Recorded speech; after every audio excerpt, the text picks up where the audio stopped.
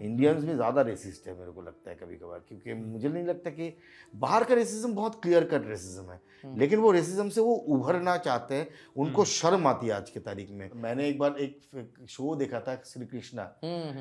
तो गोरा कृष्णा ढूंढ के लेके आए। मैंने बोला ये टैलेंट है। हम्म ये टैलेंट है कृष्णा को गोरा कर दिया। तो काला कृष्णा काला सामने कैसे सामने कृष्णा काला कैसे हो सकता है? भाई वो श्री कृष्णा है यार। हम्म। श्री कृष्णा काला नहीं हो सकता यार। मेरे को लगता है सर कि वो हम लोगों को ना बचपन से ही वैसा सिखाया जाता है और जो गलत चीज़ है ना उसको इतना नॉर्मलाइज कर दिया गया है कि लोगों को एहसास भी नहीं होता है कि ये गलत है। एग्जैक्टली जैसे अब गाना है हम काले हैं तो क्या हुआ दिल वाले हैं। हाँ। हम्म। अब इसको अब गाना ही है बट अगर आप इसको देखोगे तो आपको ये प्रॉब्लमेटिक लगेगी। लगेगी ये चीज़ नहीं है। दूसरी चीज़ है आप ही का एक इंटरव्यू हम लोग देख रहे थे जिसमें आप बोले हो कि जो डार्क स्किन वाले जो एक्टर होते हैं उनको कभी भी पॉजिटिव रोल नहीं दिया जाता है। ये तो ये तो ये तो ये तो नोशंस है। आप जैसे कि मान लो कि शांति वार्ता अगर मान लो कि पीस आपका खुद दिखाना है तो सफ़ेद कबूतर उड़ा देते हो। तो मैंने कितने बार बोला काला कबूतर उड़ा दिया कभी? हम्म।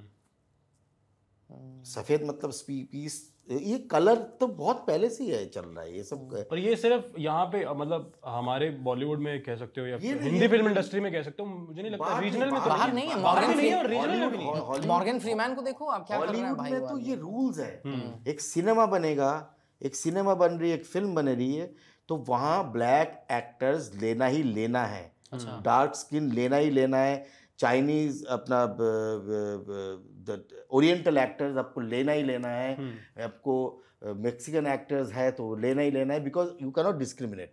So इसलिए देखना कि बाहर की फ़िल्मों में देखना कि आपको हर एक स्किन कलर्स के हर एक प्रॉपर कास्टिंग प्रॉपर कास्टिंग अपने यहाँ नहीं है। कि गोरे लोग को ही तेल लगा के फिर वो थोड़ा सा डार्क स्किन डार्क स्किन करता हाँ। एग्जैक्टली एग्जैक्टली एग्जैक्टली कोई बता जो आप डिस्क्रिमिनेशन बोल ये तो हर एस्पेक्ट में ही हो जाता है फिर क्योंकि आपने हर जैसे कलर में भी बोला आपने लाइफस्टाइल में भी हो सकता है कि अगर आपका लाइफस्टाइल मैच नहीं करता किसी के साथ तो आपकी नेटवर्किंग नहीं हो पा रही है प्रॉब्लली आप ऑफ़ कोर्स होता है कि आप- उठ बैठ नहीं सकते हो। आप- आपको ऑफ़ कोर्स होता है कि मतलब मेरे मेरा बेटा स्कूल मेरे बेटे को स्कूल में एक बार बोल दिया कि तू इतना काला क्यों है?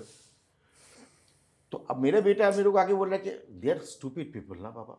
ना of course they are stupid hmm, so so ये तो बुनियादी चीज़ें हैं। ये तो मतलब ये अब ये अब ये जा ही नहीं सकता जब तक मेरे को लगता है ये सोसाइटी ही ये वैसा ट्रेन कर दिया गया। अगर इस तो- अगर मतलब मैं ये कह रहा हूँ अगर इन चीज़ों को अगर आप मान लो कि टेक्स्ट बुक में बचपन में नहीं डाल दिया प्राइमरी एजुकेशन में अगर डाल दो हम्म, तो हो सकता है कुछ हो लेकिन पेरेंटिंग भी बहुत मैटर करता है ऐसे चीज़ों में कि आप जो बच्चे बोल रहे हैं उस बच्चे के माँ बाप को भी रियलाइज़ होना चाहिए कि यार हमसे गलती हो गई। हम मुझे कभी कभार मेरे को लगता है कि यार हम बहुत ज़्यादा रेसिस्ट हो चुके हैं। इंडियंस में ज़्यादा रेसिस्ट है मेरे को लगता है कभी कभार क्योंकि मुझे नहीं लगता कि बाहर का रेसिज्म बहुत क्लियर कट रेसिज्म है। लेकिन वो रेसिज्म से वो उभरना चाहते हैं उनको शर्म आती है आज की तारीख में। वो अगर ऐसे कुछ रेसिज्म की बात हो तो it is a global issue but we don't care thank you for watching this full clip और मैं आपसे वादा करता हूँ कि इसका फुल पॉडकास्ट भी देख के आपको काफ़ी मज़ा आने वाला है। Link in the description